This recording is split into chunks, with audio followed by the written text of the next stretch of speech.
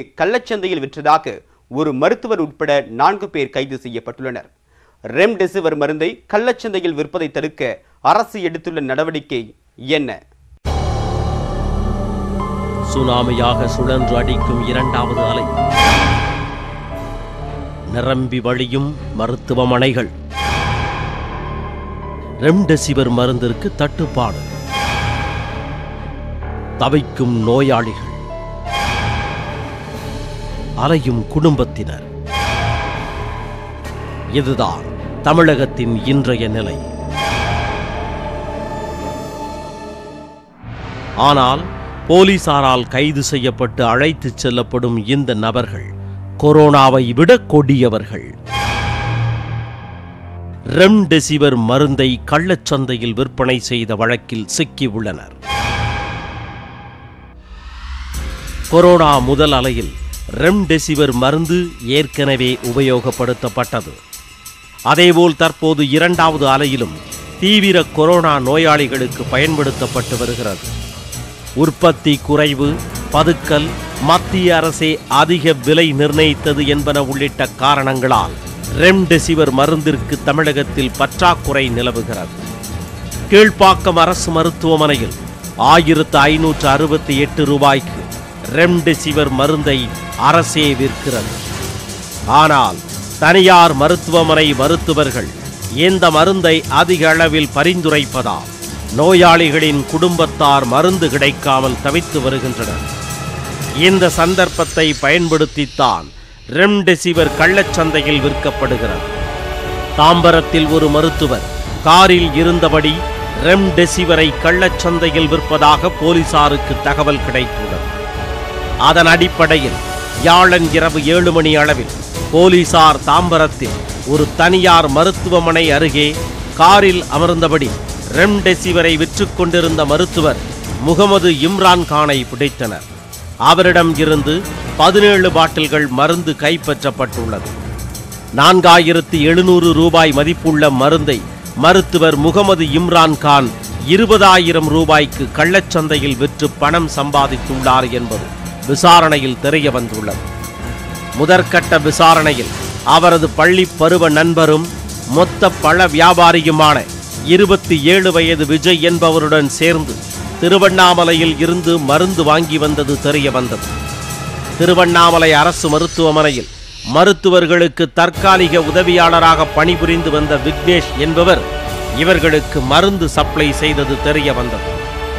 இதையடுத்து விஜயையும் விக்னேஷையும் போலீசார் கைது செய்தனர். ரெம்டெசிவிர் மருந்தை விக்னேஷிடம் இருந்து சென்னை கிண்டியைச் சேர்ந்த ராஜ்குமார் என்பவர் வாங்கி தந்துள்ளார். அதை திருவண்ணாமலையில் இருந்து காரில் சென்னைக்கு கொண்டு வந்துள்ளார் விஜய் என்பது விசாரணையில் தெரிய வந்துள்ளது. மூவரையும் கைது செய்த போலீசார் வெள்ளிக்கிழமை காலையில் தாம்பரத்தில் ராஜ்குமாரை கைது செய்தனர். அதேபோல் ரெம்டெசிவிர் மருந்தை கள்ளச்சந்தையில் விற்றதாக சென்னை மின் பகுதியில் உள்ள தனியார் மருத்துவமனை ஊழியர் கார்த்திகேயன் என்பவரும் கைது செய்யப்பட்டுள்ளார். கள்ளச்சந்தையில் ரெம்டெசிவிர் மருந்தை விற்பனை செய்தால் கடும் நடவடிக்கை எடுக்கப்படும் என தமிழக சுகாதாரத்துறை செயலாளர் எச்சரித்துள்ளார். இல்லீகலா சேல் நடக்கிறது தாம்பரத்துலன்னு சொன்ன உடனே ட்ரக் கண்ட்ரோல் அதற்கான ட்ராப் ஏற்பாடு சரி காவல்துறை மூலமாக பதினேழு வயல் நாங்கள் சீஸ் பண்ணியிருக்கோம். இது எங்களோட கடைசி வார்னிங் இந்த கள்ளச்சந்தையில் விற்பவர்களுக்கு கடைசி வார்னிங் இதுலேயும் சில பேர் நம்ம பார்க்கும்போது கேஎம்சியில் நம்ம ஏழை எளிய மக்களுக்கு ஏற்பாடு செய்த அனைத்து ஆவணங்களுடன் கொடுக்கக்கூடிய வயல்கள் கூட சில சமயம் வெளியில் போகிறது அரசு மருத்துவமனையில் கொடுக்கக்கூடிய வயல்களை கூட சில பேர் கள்ளச்சந்தையில் கொண்டு வராங்க. குஜராத் யூபி போன்ற மாநிலங்கத்திலேருந்து கொண்டு வராங்க. கடுமையான நடவடிக்கைகள் அவங்க மேல எடுக்கப்படும் காவல்துறை மூலமாக. கள்ளச்சந்தையில் ரெம்டெசிவிர் மருந்து. ஆறு டோஸ் எழுபத்தி ஐந்தாயிரம் ரூபாய் வரை விற்பனையாவதாக தகவல் வெளியாகி உள்ளது. ஆனால் ரெம்டெசிவிர் உயிர்காக்கும் மருந்து இல்லை என்று தமிழக அரசு கூறியுள்ளது. மேலும் குழப்பத்தை ஏற்படுத்தி உள்ளது. குழப்பம் தீருமா? கள்ளச்சந்தை கள்வர்கள் சிக்குவார்களா?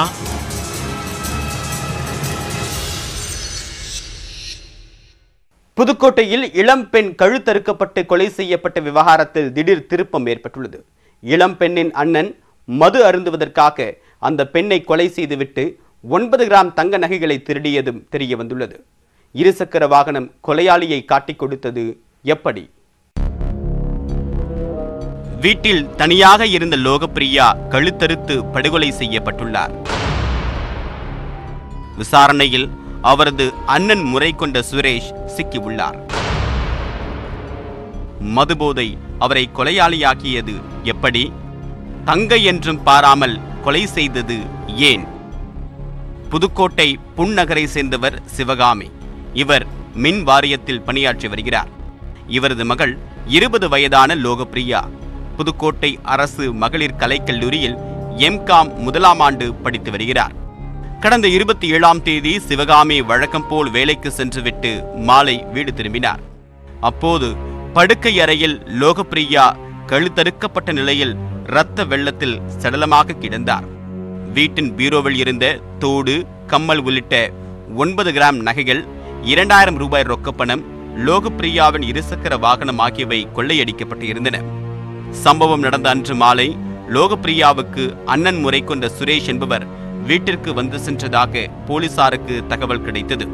அதன் அடிப்படையில் அவரை தேடிய போது ஒரு மெக்கானிக்கிடம் லோகப்பிரியாவின் இருசக்கர வாகனத்தை அவர் விற்க முயன்று பேரம் பேசிக் கொண்டிருப்பதாக போலீசாருக்கு தகவல் கிடைத்தது. அவரை பிடித்து விசாரித்த போது அதிர்ச்சிகரமான தகவல்கள் வெளியாகின. சிவகாமியின் உடன் பிறந்த மூத்த சகோதரியின் மகன்தான் சுரேஷ் மதுவுக்கு அடிமையானவர். சிவகாமியின் கணவர் இறந்த பிறகு அந்த குடும்பத்திற்கு அவ்வப்போது உதவி வந்துள்ளார். கடந்த இருபத்தி ஏழாம் தேதி மது அருந்துவதற்கு கையில் காசில்லாததால் மாலை ஐந்து மணிக்கு சித்தி வீட்டிற்கு சென்றுள்ளார். அங்கு லோகப்பிரியா மட்டும் இருந்ததால் பணம் கேட்டுள்ளார். அவர் தர மறுக்கவே தகராறு ஏற்பட்டுள்ளது. ஆத்திரத்தில் வீட்டிலிருந்த கத்தியால் லோகப்பிரியாவின் கழுத்தை அறுத்து கொலை செய்துள்ளார் சுரேஷ். பின்னர் பீரோவை திறந்து அதிலிருந்த ஒன்பது கிராம் நகைகள் இரண்டாயிரம் ரூபாய் ரொக்கப்பணம் லோகப்பிரியாவின் வாகனம் ஆகியவற்றை கொள்ளையடித்து தப்பி உள்ளார் என்பது விசாரணையில் தெரிய வந்துள்ளது இதையடுத்து சுரேஷை கைது செய்த போலீசார் அறந்தாங்கி கிளை சிறையில் அடைத்தனர். மது அருந்துவதற்காக சொந்த சித்தி மகளையே அண்ணன் கொலை செய்த சம்பவம் அந்த பகுதியில் அதிர்ச்சியை ஏற்படுத்தி உள்ளது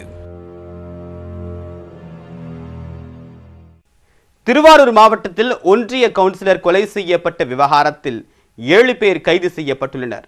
கொலையாளிகள் கொடுத்த வாக்குமூலம் என்ன?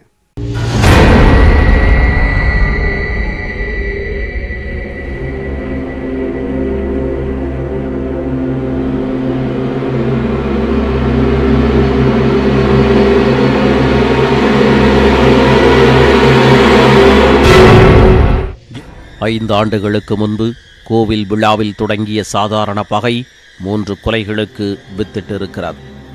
மூன்றாவது நபராக ஒன்றிய கவுன்சிலர் ராஜேஷ் படுகொலை செய்யப்பட்டிருக்கிறார். தொடரும் கொலைகளின் பின்னணி என்ன? திருவாரூர் மாவட்டம் முத்துப்பேட்டை அருகே உள்ள ஆலங்காடு கோவிலூரைச் சேர்ந்தவர் முப்பத்தி ஐந்து வயதான ராஜேஷ். இவருக்கு திருமணமாகி பேபி என்ற மனைவியும் ஏழு மாத ஆண் குழந்தையும் உள்ளனர்.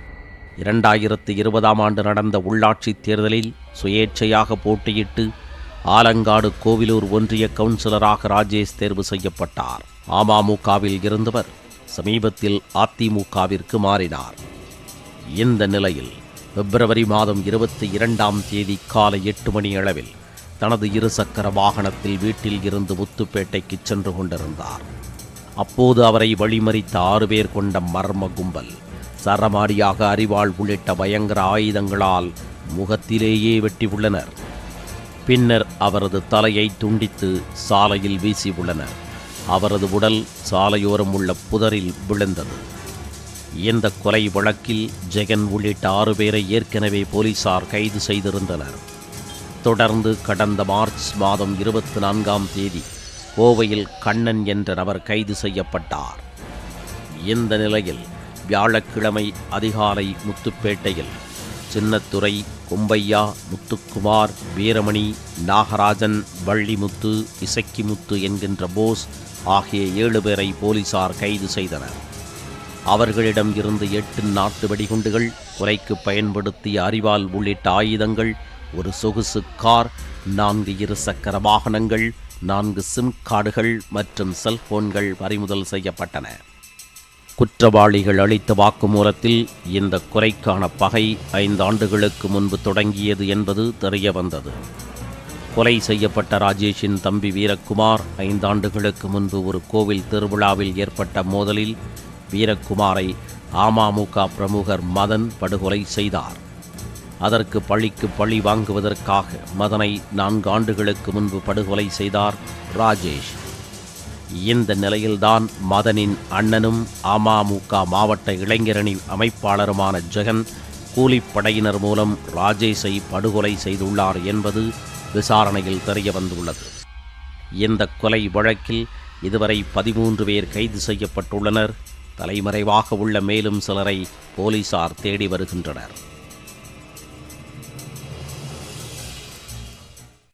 வெளிநாட்டிலிருந்து முகக்கவசம் வாங்கித் தருவதாக கூறி ஐம்பது லட்சம் ரூபாய் வரை மோசடி செய்த ஒரு பெண் உட்பட மூன்று பேரை கைது செய்ய வேண்டும் என்று பாதிக்கப்பட்டவர்கள் காவல்துறையில் புகார் அளித்துள்ளனர்.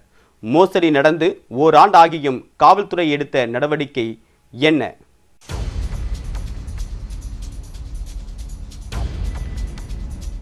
ஒரு சிறிய அலுவலகம். முகக்கவசம் நிரம்பிய பெட்டிகள் இருப்பது போல் சில வினாடிகளை கொண்ட ஒரு வீடியோ. வங்கிக் கணக்கில் ஐந்து கோடி ரூபாய் இருப்பதாக ஒரு ஸ்கிரீன்ஷாட் இவற்றை வைத்தே ஐம்பது லட்சம் ரூபாய்க்கு மேல் சுருட்டி உள்ளனர் சுவேதா அபிராஜ் மற்றும் ஹரி ஆகிய மூன்று பேர். மோசடி நடந்து ஓராண்டாகிவிட்டது.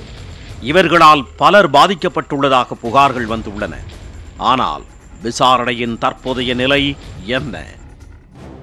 சென்னை ஆலந்தூர் உசேன் சுபேதார் தெருவைச் சேர்ந்தவர் இருபத்து ஒன்பது வயதான நரேஷ் ஐடி நிறுவனங்களில் உணவு விநியோகம் செய்து கொண்டிருந்தார். இரண்டாயிரத்து இருபதாம் ஆண்டு மே மாதம் கொரோனா பரவல் அதிகரித்த நிலையில் ஐடி நிறுவனங்களுக்கு முகக்கவசம் விற்கும் யோசனை நரேஷிற்கு தோன்றியது. அது குறித்து ஒரு வாட்ஸ்அப் குழுவில் அவர் பதிவிட அமிகே டெக்னாலஜி பிரைவேட் லிமிடெட் என்ற நிறுவனத்தின் பெயரை கூறி சுவேதா என்பவர் தொடர்பு கொண்டுள்ளார். டென்மார்க் ஜெர்மன் போன்ற வெளிநாடுகளில் இருந்து முகக்கவசங்களை மலிவான விலைக்கு இறக்குமதி செய்வதாக கூறியுள்ளார். அதை நம்பிய நரேஷும் அவர்களிடம் ஆர்டர் செய்ய முற்பட்டபோது மொத்தமாக வாங்க வேண்டும் என்றும் உடனடியாக பணத்தை முழுமையாக செலுத்த வேண்டும் எனவும் வலியுறுத்தியுள்ளார். அதையும் நம்பிய நரேஷ் தனது வங்கிக் கணக்கில் இருந்த நாற்பத்து ஒன்பது லட்சம் ரூபாயை மூன்று தவணைகளில் செலுத்தியுள்ளார். சொன்ன ஒரு வாரத்தில் முகக்கவசம் வராமல் போகவே நரேஷ் ஸ்வேதாவிடம் கேட்டுள்ளார். ஒரு மாதம் கழித்து முகக்கவசம் வந்துவிட்டதாகவும் சென்னை விமான நிலையத்தில் வைக்கப்பட்டிருப்பதாகவும் இரண்டு மணி நேரத்தில் டெலிவரி ஆகிவிடும் என்றும் கூறி ஒரு வீடியோவை அனுப்பியுள்ளார் சுவேதா சொல்லியபடி அந்த இரண்டு மணி நேரம் மட்டுமல்ல அதன் பின் எப்போதுமே முகக்கவசங்கள் வரவில்லை. அதிர்ச்சி அடைந்த நரேஷ் சுவேதா குறிப்பிட்ட முகவரிக்கு சென்று பார்த்தபோது அங்கிருந்த அலுவலகத்தை காலி செய்து விட்டதாக தெரிய வந்து அதிர்ச்சி அடைந்தார் அவரைப் போல் நெய்வேலியைச் சேர்ந்த இருபத்தி எட்டு வயதான ரகுமான் என்பவரிடம் முகக்கவசம் வாங்கி தருவதாக கூறி பதினேழு லட்சம் ரூபாயை சுருட்டி உள்ளது இந்த கும்பல். அமைந்த கரையைச் சேர்ந்த ஐம்பத்தி ஐந்து வயதான லதா என்பவரிடம் கையுறை வாங்கி தருவதாக கூறி மூன்று லட்சத்து எண்பத்து நான்காயிரம் ரூபாயை இந்த கும்பல் மோசடி செய்துள்ளது. சென்னை ஈக்காட்டு தாங்கலில் சிறிய நிறுவனம் நடத்தி வரும் ராமநாதன் என்பவரிடம் முகக்கவசம் வாங்கி தருவதாக கூறி ஒரு லட்சம் ரூபாய் மோசடி செய்துள்ளனர். கூடுவாஞ்சேரியைச் சேர்ந்த ஜெகவீரபாண்டியன் என்பவரிடம் எட்டு லட்சம் ரூபாயை பறித்துள்ளது இந்த கும்பல். ஸோ இந்த பணமே பார்த்தீங்க அப்படின்னா எல்லா இடத்துலையுமே கடன் வாங்கி நகையை வச்சு ரொம்ப கஷ்டப்பட்டு ஏன்னா அந்த பேண்டமிக் பீரியடில் வந்து ஒரு ரூபா வருமானமும் இல்லை. சரி இந்த பிஸ்னஸ் பண்ணால் ஏதாவது ஒரு இன்கம் வரும் அப்படின்ற ஒரு பட்சத்தில் இது அதிகபட்சம் ஒரு பத்தாயிரம் இருபதாயிரம் இன்கம் தான் வரக்கூடிய பிஸ்னஸ் தான் இது. நாங்கள் அவ்வளோ தூரம் இன்வெஸ்ட்மெண்ட் பண்ணி நகையெல்லாம் வச்சு வெளியே வட்டிலாம் வாங்கி ரொம்ப ப்ரெஷர் போட்டு இன்னைக்கு வந்து ரொம்ப ஃபஸ்ட்டான சுச்சுவேஷனில் நாங்கள் மாட்டிக்கிட்டோம். கேட்டு எங்களுக்கு உடனே இல்லைனா பணத்தை கொடுங்க. உங்களை நம்பி நான் வந்து ஆர்டர் பண்ணேன் பணத்தை ஏமாத்துறீங்க அப்படின்னு சொன்ன உடனே கொடுக்கல. அதுக்கப்புறம் இது சம்மந்தமாக வந்து அந்த கம்பெனி இருக்கிற அட்ரஸுக்கெல்லாம் வந்து நோட்டீஸ் அனுப்பிச்சா எல்லாமே அந்த மாதிரி பர்சனே இல்லை. அந்த மாதிரி கம்பெனியும் இல்லைன்னு வந்தது. கம்ப்ளைண்ட் பண்ணி கொடுத்த உடனே அப்புறம் வந்து பதிமூணு பத்து நாள் கழிச்சு அதை ஏமாத்தின அபிராஜ் அந்த ஸ்வேதா ரெண்டு பேரையும் வந்து கூப்பிட்டு வந்து விசாரித்தாங்க விசாரிச்சதில் பணத்தை வாங்கிட்டு பொருள் கொடுக்காத இருக்கிறாங்க ஃப்ராடு பண்ணியிருக்காங்கன்னு தெரிஞ்சு பணத்தை ரிட்டர்ன் பண்ணணுன்ற மாதிரி பேசுனாங்க. பேசிட்டு என்ன பண்ணாங்க? அவன் என்ன பண்ணிட்டா ஒரு வாரத்தில் நான் கொடுத்துட்றேன் அப்படின்னு சொல்லிட்டு அவனை கூப்பிட்டு வந்து எழுதி வாங்கிக்கணும் உங்களுக்கு பணம் ஒரு வாரத்தில் கொடுத்துருன்ட்டாங்க போங்கன்னு சொல்லி எங்களை அனுப்பிச்சிட்டாங்க. இப்போ எஃப்ஐஆர் போட்டிருக்காங்க அந்த அபிராஜன்ற பேரில். அதாவது four nought six four twenty சீட்டிங்கில் போட்டிருக்காங்க. போட்டிருக்காங்க ஆனால் இன்றைக்கி வரைக்கும் என்ன நடவடிக்கை என்ன அப்படின்னே தெரியல. போலீஸ் வந்து ரொம்ப டிலே லெத்தார்ஜிக்காக இருக்காங்க. முறையாக இந்த மாதிரி நடவடிக்கை எடுத்தாங்கன்னா எங்களை மாதிரி நிறைய பேர் ஏமாத்திருக்கான் நிறைய பேர் ரிலீஃப் கிடைச்சிருக்கான். இன்னொரு முறை போகும்போது அவங்க தம்பி அங்கே இருந்தான். அவன் தான் செஞ்சார் உங்களால் என்ன முடியுமோ பண்ணிக்கங்க அதை தர முடியாது அப்படின்னு எல்லாருமே சேர்ந்து சொன்னாங்க. அவன் தம்பி வந்து என்ன செஞ்சால் அடித்து வெளியில் தள்ளினார் வீட்டை விட்டு. உன்னால் என்ன பண்ணுமோ பண்ணிக்கோ. அந்த நான் இந்த வீட்டில் தான் இருப்போம். உன்னை என்னங்க எங்கே யாரும் யார்கிட்ட வேணாலும் கூட்டுவோம் எங்கே வேணாலும் கூட்டு யார் வேணாலும் கூட்டுவா அப்படின்னு சொல்லி ரொம்ப டென்ஷனாக என்னை வந்து அடித்து கீழே த- தள்ளி அடித்தார் சரி நான் பார்த்துக்கிறேன் போலீஸ் மூலமாக பார்த்துக்கிறேன்னு சொல்லிவிட்டு அதுக்கு பிறகு நான் என்ன செஞ்சேன் மயிலாப்பூர் ஸ்டேஷனில் கம்ப்ளைண்ட் கொடுத்தோம். இது மாதிரி நடந்தது அப்படின்னு சொல்லி கம்ப்ளைண்ட் கொடுத்தோம். சிஎஸ்ஆர் போட்டு தந்தாங்க. அவங்க சிஎஸ்ஆர் போட்டு கொடுத்து இதுவரையும் எங்களுக்கு எந்த ஆக்ஷன் எடுக்கலை. சிஎஸ்ஆர் போட்டு அது கிட்டத்தட்ட பத்து மாதம் ஆக போகுது. போன எனக்கு கம்மியான அமௌண்ட்டாக இருந்தாலும் மற்றவங்களுக்கெல்லாம் அதிகமான அமௌண்ட் நிறைய பேர் ஏமாந்துருக்காங்க. தெரிஞ்சவங்க நிறைய விசாரித்தேன் நான்.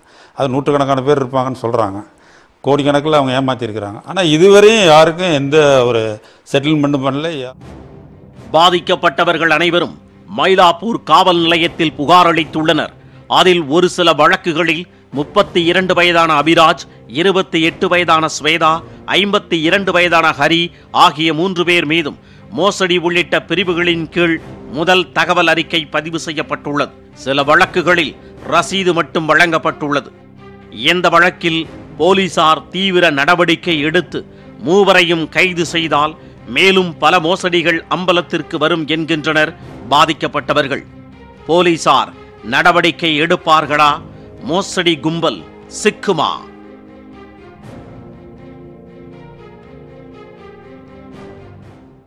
கணவன் மாமியாரின் கொடுமைக்கு முற்றுப்புள்ளி வைப்பதற்காக தான் தற்கொலை செய்து கொள்வதாக பெண் ஒருவர் வீடியோ பதிவிட்டு தற்கொலை செய்து கொண்டிருக்கிறார் தற்கொலைக்கு தள்ளும் அளவுக்கு கணவர் வீட்டார் செய்த கொடுமையின் பின்னணி என்ன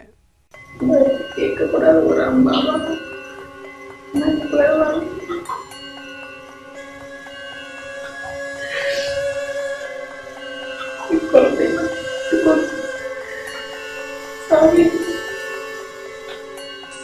அவருடைய மாம மாமியாரும் மாமனாரும் அவருடைய கணவரும் அவருடைய சித் சின்ன அத்தையும் தங்கையை கணவனின் சகோதரனுக்கு திருமணம் செய்து வைக்க முடியாத நிலை. ஒட்டுமொத்த கணவன் குடும்பமும் கொடுமை செய்ததால் மருமகள் தற்கொலை செய்து கொண்டுள்ளார். சாதாரண திருமண பிரச்சனை ஒரு பட்டதாரி இளம்பெண்ணின் உயிரை காவு வாங்கியது எப்படி?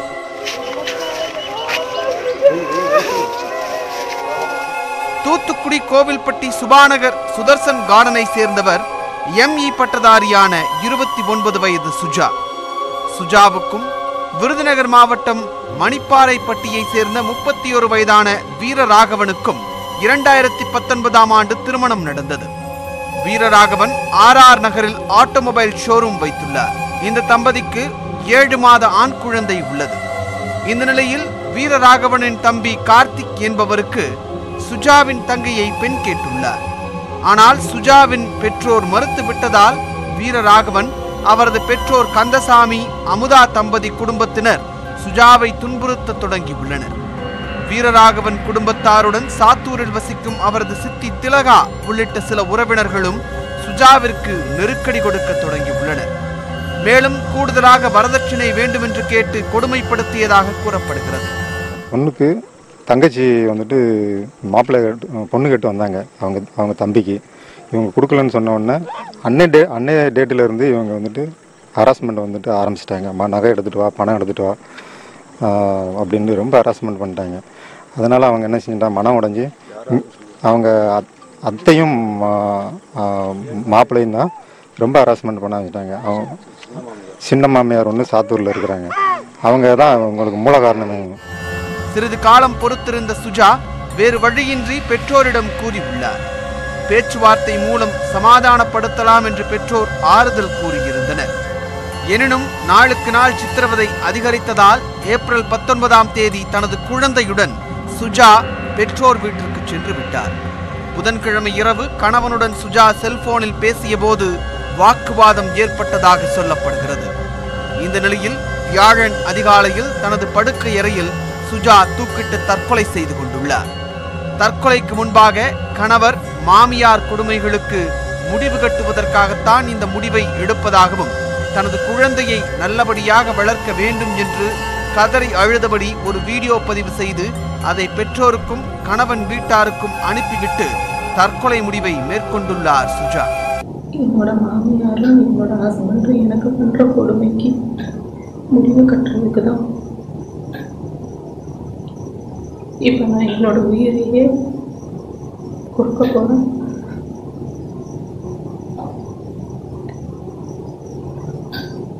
அவங்க பண்ற கொடுமை அவங்க பேசுற பேச்சு அவங்க என்னை பத்தி எனக்கு பண்றது எனக்கு எதுவுமே பிடிக்கல என்னால் முடியல எவ்வளவோ போராடிட்டேன் என் குழந்தைய மட்டும் நல்லபடியாக பார்த்து ப்ளீஸ்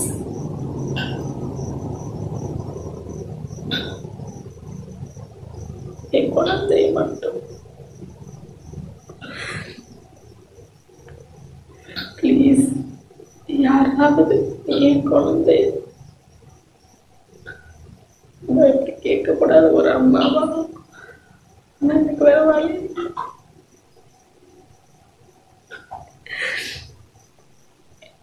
என் குழந்தைய மட்டும் சாரி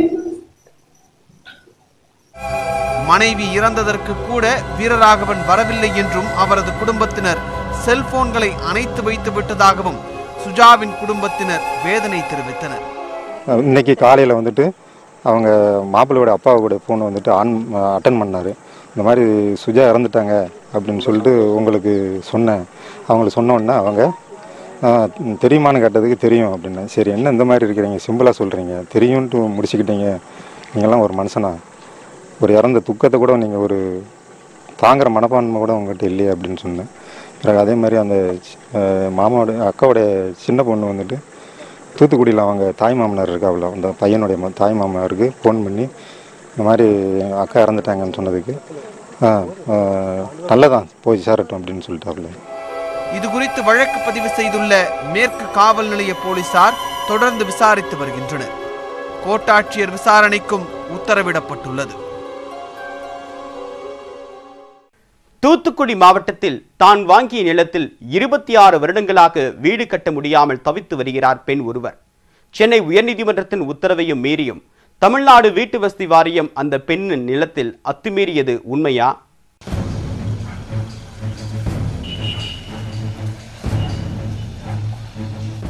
தனது நிலத்தை கையகப்படுத்தியது தவறு என கூறி நில உரிமையாளர் ஜோதிலட்சுமி உயர்நீதிமன்ற மதுரை கிளையில் வழக்கு தாக்கல் செய்துள்ளார். அந்த வழக்கில் தற்போதைய நிலை தொடர வேண்டும் என உயர்நீதிமன்றம் உத்தரவிட்டுள்ளது. ஆனால் உயர்நீதிமன்ற உத்தரவையும் மீறி ஜோதிலட்சுமி நிலத்தை தனியாருக்கு விற்றுள்ளது தமிழ்நாடு வீட்டு வசதி வாரியம். நிலத்தில் அத்துமீறி நுழைந்து அங்கிருந்த அஸ்திவாரத்தையும் இடித்து தள்ளியுள்ளது. நடந்தது என்ன? தூத்துக்குடி மாவட்டம் கோவில்பட்டி அருகே உள்ள கிருஷ்ணா நகரை சேர்ந்தவர் ஜோதிலட்சுமி. அரசு மருத்துவமனையில் செவிலியராக பணியாற்றி விருப்ப பணி ஓய்வு பெற்றவர். கடந்த ஆயிரத்தி தொள்ளாயிரத்தி தொன்னூற்றி ஒன்றாம் ஆண்டு அதே கிருஷ்ணா நகரில் எட்டு புள்ளி மூன்று ஐந்து சென்ட் இடத்தினை வாங்கியுள்ளார். அதில் வீடு கட்டுவதற்கான அஸ்திவாரம் மற்றும் ஆழ்துளை கிணறு அமைத்துள்ளார். இந்த நிலையில் ஆயிரத்தி தொள்ளாயிரத்தி தொன்னூற்றி நான்காம் ஆண்டு ஜோதிலட்சுமி நிலம் உள்ளிட்ட நிலங்களை தமிழ்நாடு வீட்டு வசதி வாரியம் கையகப்படுத்தியது. அதை எதிர்த்து ஜோதிலட்சுமி உள்ளிட்ட பாதிக்கப்பட்டவர்கள் கோவில்பட்டி நீதிமன்றத்தில் வழக்கு தொடுத்தனர். அதில் தீர்ப்பு வராத நிலையில் இரண்டாயிரத்தி பதினேழாம் ஆண்டு ஜோதிலட்சுமி உயர்நீதிமன்ற மதுரை கிளையில் வழக்கு தொடுத்தார். அதில் தற்போதைய நிலை தொடர வேண்டும் என உயர்நீதிமன்றம் உத்தரவிட்டது. அந்த உத்தரவின் ஆணை எண்ணோடு தனது நிலத்தில் ஒரு அறிவிப்பு பலகையும் வைத்தார் ஜோதிலட்சுமி. வழக்கு நிலுவையில் உள்ள நிலையில் அவரது நிலத்தை தனியார் ஒருவருக்கு விற்றுள்ளது தமிழ்நாடு வீட்டு வசதி வாரியம். இப்போ இந்த இடம் நம்ம நம்ம பயன்பாட்டுக்கு எடுத்து கட்டி வீடு கட்டிட்டு இருக்கீங்க சார்?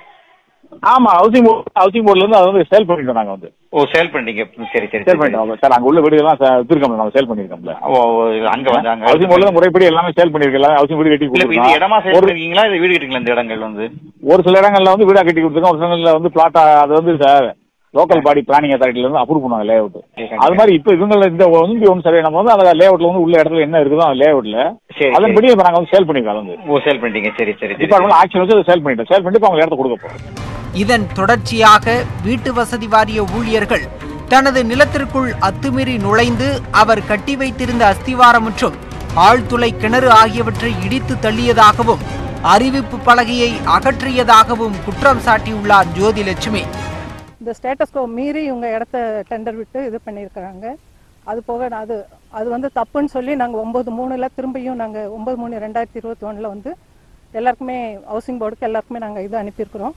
இது வந்து செல்லுபடியாகாது ஸ்டேட்டஸ்கோ இருக்கிறப்ப நீங்கள் இதில் உள்ளே இறங்க முடியாதுன்னு நாங்கள் அனுப்பியிருக்கிறோம். திரும்பியும் இப்போ வந்து ரீசன் இன்னைக்கு இன்னைக்கு வந்து நான் போட்டிருந்த அந்த பேஸ்மெண்ட்டு எல்லாத்தையும் ஜேசிபி வச்சு தகர்த்துட்டு உள்ளே இறங்குனாங்க சார். இதனால் நான் ரொம்ப மன உளைச்சலுக்கு ஆளாக இருக்கிறேன் இது எனக்கு ஒரு தீர்ப்பு வேணும்.